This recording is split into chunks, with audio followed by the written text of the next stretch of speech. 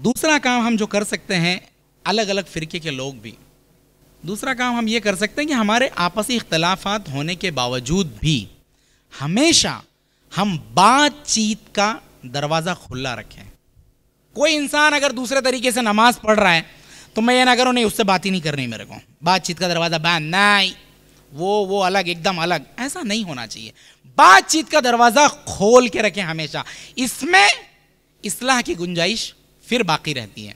और अगर हमने बातचीत का दरवाज़ा बंद कर दिया, अगर हमने बातचीत नहीं की तो इस इंडिया के अंदर जो हम चैलेंजेस का सामना कर रहे हैं, जो हमारे साथ चैलेंजेस दरपेश हैं, एक छोटी सी मिसाल दूँगा मैं आपको। हम लोग अलग अलग मकतब फ़िक्र के लोग हैं और हमने ये चैलेंजेस को देखा है। और इसको हम किस तरह से काउंटर कर सकते हैं? कि हमेशा हम बातचीत के जो हमारे दरवाजे हैं, उसको खुला रखें, अपने भाइयों पे एतमाद करें। कहने की बात यह है कि अगर हमारे बीच में ये कम्युनिकेशन ओपन रहता है तो ऐसी एक्सट्रीम सिचुएशन में भी दुश्मन इस्लाम की साजिशों को हम नाकाम कर सकते हैं। लेकिन इसमें खलूस की बहुत ज़्यादा ज़रूरत है। आइए अब कुछ समाजी मसाइल पे बात कर लेते हैं। हमारे पास करने के बहुत सारे काम हैं। बहसीत कौम, हम एक बहुत गरीब कौम हैं। बहुत सारे चैलेंजेस का सामना है। हम देखते हैं हमारी सोसाइटी के अंदर। अल्लाह रब्बुल आलमीन कुरान मजीद में फरमाता है सूर्य बकरा सूर्य नंबर दो, आयत नंबर 175 के अंदर, कि सूदी कारोबार करने वाले लोग इस तरह क़यामत के दिन उठाए जाएँगे कि यह तखबत शैतान अमिनल मस के जैसे उन्हें छू कर शैतान ने बावला कर दिया हो।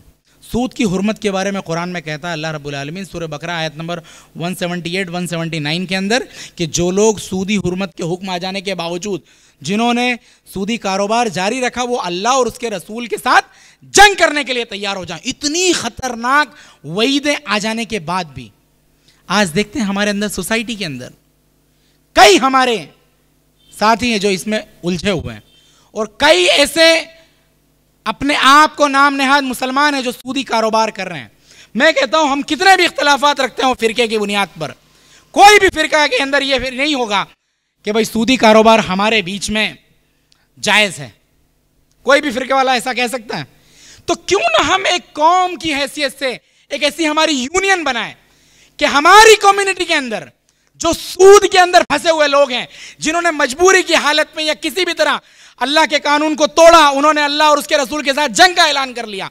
उन लोगों की मदद करें एक कौम की हैसियत से, लोकल सतह पर। और वो शैतान किस्म के लोग जो मासूमों को फंसाते हैं, जो सूदी कारोबार करते हैं, उन सारे लोगों का समाज के अंदर हम बॉयकॉट करते हैं। हो सकता है या नहीं हो सकता है? हो सकता है या नहीं हो सकता है? और ये हर फिरके वाले मिलके कर सकते हैं। इस तरह से हम हमारी कम्युनिटी को इकोनॉमिकली अपलिफ्ट भी कर सकते हैं। बनाइए बैतुल माल का सिस्टम हमारे बीच में। लोकल सतह पे बनाइए। हर फिरके वालों को शामिल कीजिए। बिल्कुल हो सकता है। और इस मामले में मैं तो कहता हूँ कि इलाके के जो अहले खैर हजरात हैं, जिनको अल्लाह रब्बुल आलमीन ने अगर दौलत दी है, मैं कहता हूँ एक सिस्टम बनाइए यहाँ पर आप। हर महीने के अंदर, दो महीने के अंदर, ये एक्सपेरिमेंट हम गुजरात में भी कर रहे हैं। महीने, दो महीने के अंदर, कोई ऐसा मौका तलाश कीजिए कि एक जगह पर इलाके के एतराफ़ की जितने भी फ़िरके की मस्जिद हैं, जितने भी फ़िरके वाली मस्जिद हैं, उन तमाम के ट्रस्टीज़ को, ज़िम्मेदारान को, आप जमा कीजिए, वहाँ के इमामों को जमा कीजिए। सिर्फ़ खाना खिलाइए आप, लोग हाल चाल लें, मिलें और चले जाएँ। इतना काम करिए आप। बहुत बड़ा काम हो सकता है इसके ज़रिए। और एक ऐसी राहें खुलेंगी कि जिसको हम बातिल, जो इस वक्त हम पर चैलेंज के सामना जिसका हम कर रहे हैं, उसको हम काउंटर कर सकते हैं।